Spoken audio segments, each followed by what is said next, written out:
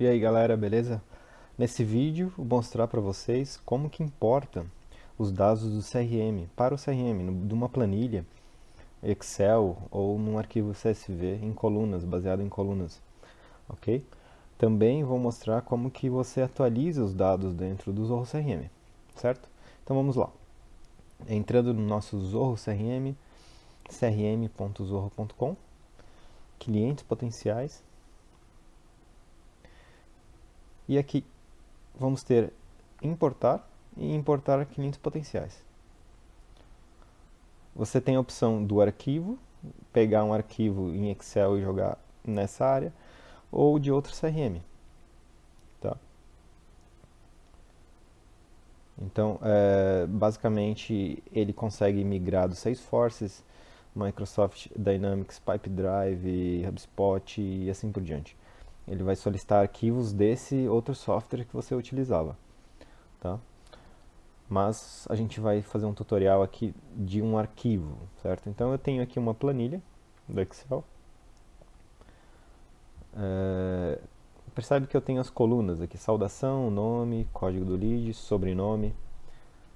Cada coluna dessa representa no meu CRM, vou mostrar para vocês, um campo. Tá? Então, o nome é um, a gente chama de campo. O sobrenome é outro campo. É a mesma coisa aqui no CRM. Se eu clico para criar um novo lead, por exemplo, eu vou ter um campo chamado nome, sobrenome, telefone e assim por diante. E igual tem que estar no seu, na sua planilha, na sua planilha de Excel. Nome, sobrenome, telefone e igualmente para todos os campos. Perfeito? Então vamos lá, eu já tenho a minha planilha, eu vou clicar aqui para exportar como um Excel, pode ser CSV também.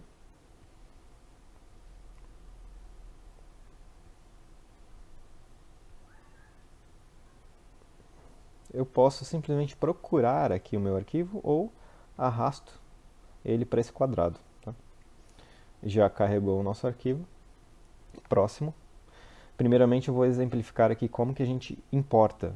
Vamos supor que seu CRM está vazio, você não tem é, leads nenhum cadastrados. Então, é, na inversão aqui do Enterprise CRM, Zorro CRM Enterprise, tem a opção de layouts. Né? Então, eu vou selecionar Standard.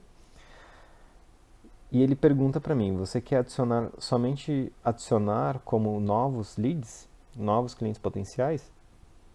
Isso, é esse exemplo que a gente vai fazer agora. Depois eu mostro para vocês como atualiza os, os, os, leads já existentes, tá? E aí ele pergunta para mim, é, você quer ignorar os leads que já estão na sua base através de um ID ou de um e-mail, né? Se for ID, você precisa do ID do CRM, tá? Então você vai precisar exportar primeiro os seus leads para depois importar eles para ter a referência de um campo aqui chamado ID, por exemplo, tá? É, agora, não é o, agora o tutorial, a primeira fase que eu vou mostrar para vocês é simplesmente importar. Tá? Vamos supor que a gente não tem nenhum lead cadastrado no CRM e vamos importar pela primeira vez. Tá? Então, uh, simples, né? a gente simplesmente precisa desse arquivo que eu já baixei, ele já está na, na nossa base aqui, clientes potenciais, leads.csv. E eu vou colocar nenhum aqui porque eu não tenho registro nenhum no CRM. Ele simplesmente vai imputar os dados. Tá? Então vamos para o próximo. E aqui, na próxima fase, eu vou ter um automapeamento. Ele já compara os campos do arquivo, que é esse arquivo, né? Ó, nome, sobrenome, telefone, empresa, certo? Nome, sobrenome, telefone, empresa. E ele pega e, e coloca também os campos do CRM já existentes. Quais são os campos do CRM? Também nome, sobrenome, telefone, celular, e-mail e assim por diante. Tá? Então ele já meio que pegou os mesmos nomes e, e aplicou esse automapeamento aqui embaixo que você pode reaplicar. Né? E ele vai recalcular para mim e já fazer todo o mapeamento de todos os campos para mim. Né? Vai ter campos que não estão mapeados aqui. Né? E esses campos não mapeados, eles não estão mapeados porque não existe no CRM esses campos. Certo?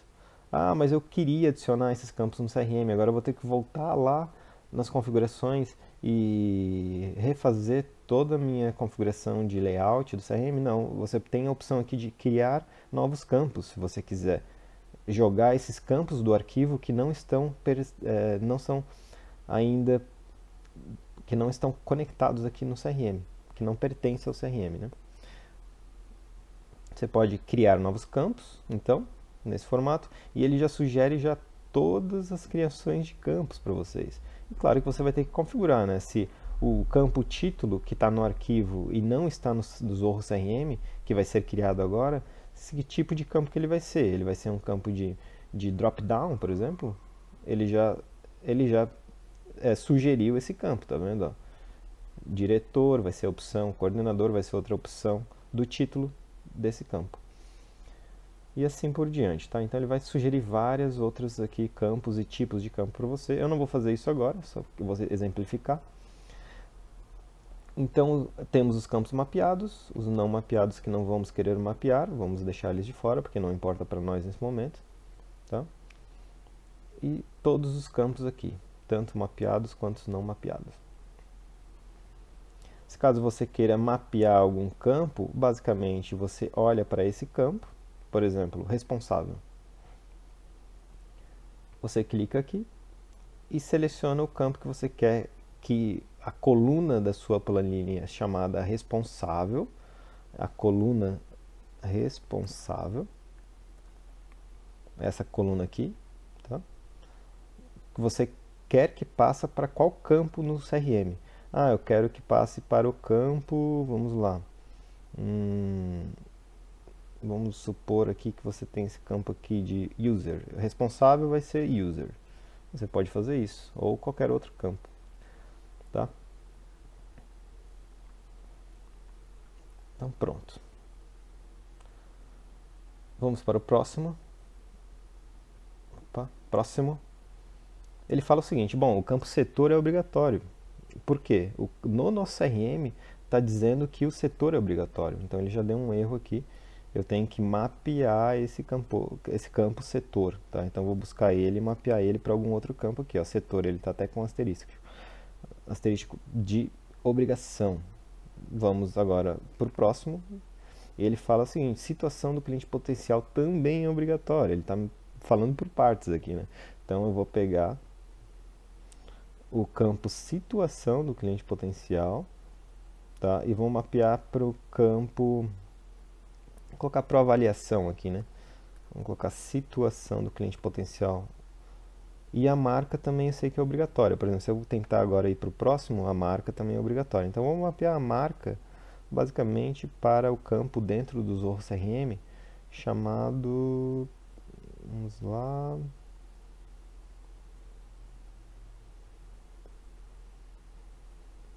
Para o título. Marca. Marca vai ser o título. Certo? já que é um exemplo, né, só estou exemplificando como funciona a importação, você vai ter os seus campos, a sua estrutura, a é, organização de colunas dentro da sua planilha e organizações de campos aqui dentro. Então você vai basicamente comparar o que está no arquivo e o que está no CRM e fazer essa estruturação. Vamos para o próximo então? E ele fala o seguinte, tem 14 campos não mapeados. Você tem certeza que quer continuar esses não mapeados aqui? Eu falei sim, né? Eu quero continuar porque para mim esses campos aqui da planilha não importa, só importa o que estão aqui mesmo que estão mapeados. Então, próximo. Sim, continue. E agora ele vai perguntar para nós é, em relação ao cliente potencial. Tá? Qual que é a fonte do cliente potencial? Você pode ter aqui o campo fonte dentro do CRM, ele é nativo e ele é importante para você mapear por onde que esses leads estão entrando.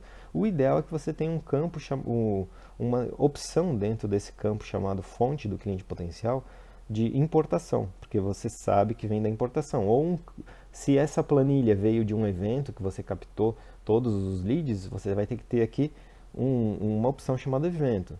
Tá? Ah, se essa planilha que você está captando veio através, por exemplo, do Google ou de uma exportação que você fez de uma indicação sua, você vai ter que selecionar aqui. Tá?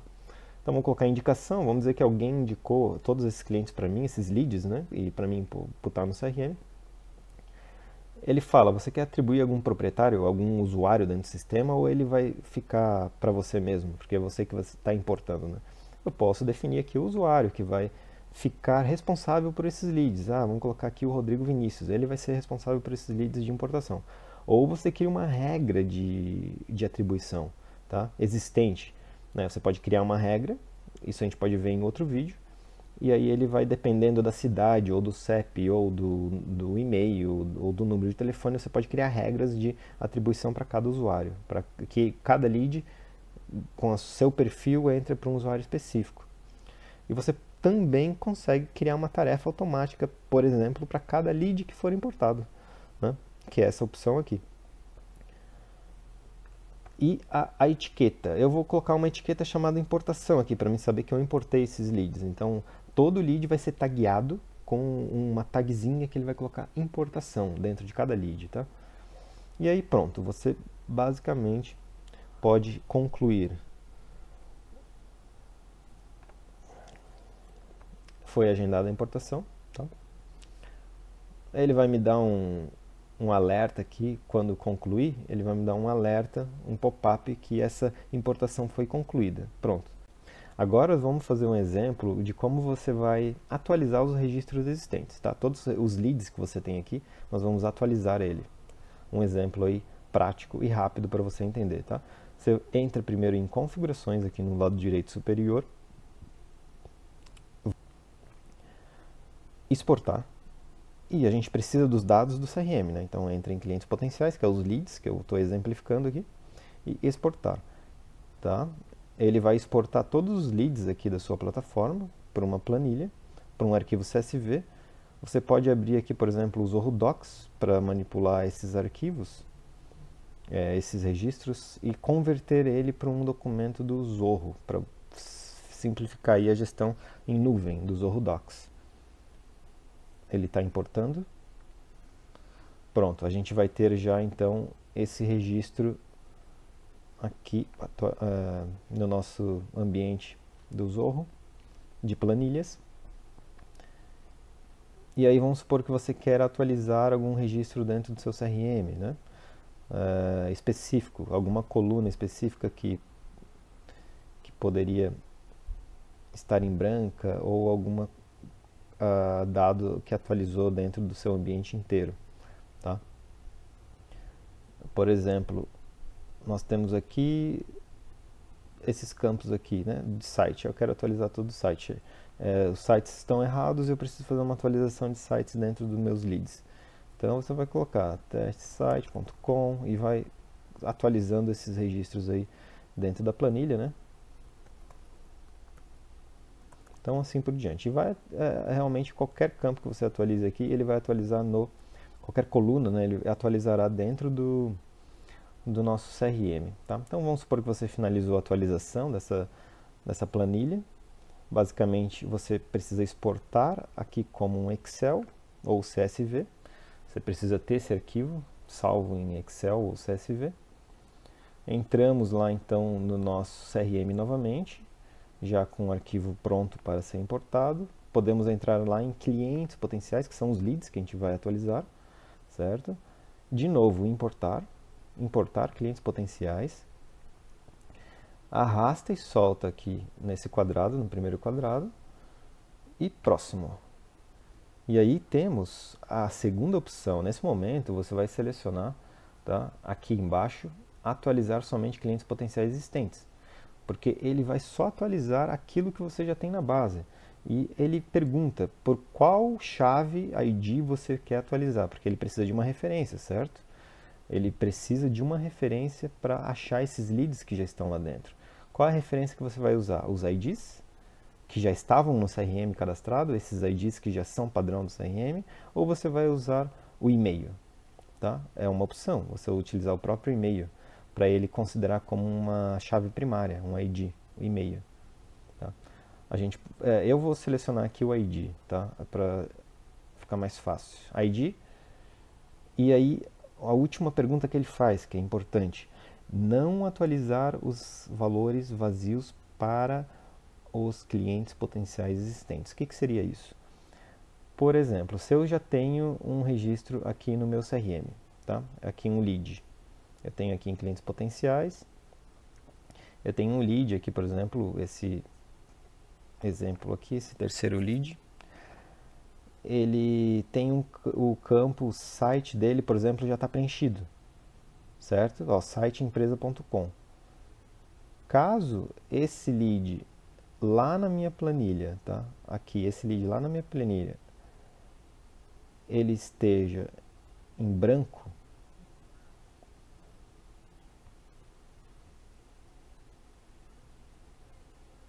vamos supor que esse aqui está em branco.